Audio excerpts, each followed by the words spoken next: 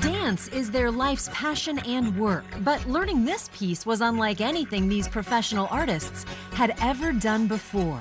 So you bring everything to your center and you just go around Pina. Look, guys, we're rehearsing. this is weird. Noelani and James are principal dancers at Pacific Northwest Ballet. They also launched their own small company called Seattle Dance Collective.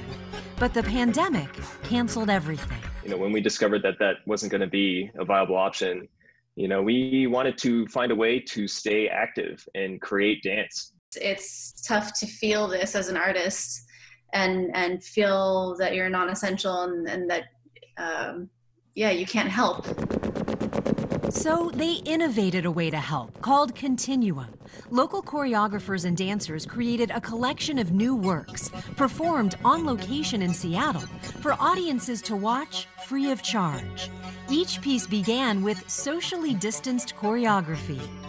We've all been in awkward Zoom meetings where we talk over each other and it's hard to make a human connection. How do you choreograph and learn dances virtually? Well, actually, in our situation, my husband choreographed, so I was there in the in the studio in our downstairs family room uh, together, and James was in West Seattle Oh my gosh, why do I keep doing that? Other dancers who sheltered in place together used their living rooms and an athletic field as rehearsal venues.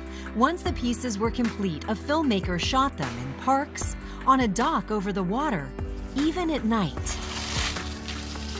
To create stunning and meaningful works of art. When we're all of a sudden in this world where we're disconnected from each other, you know, finding ways to reestablish that human connection is, is so important.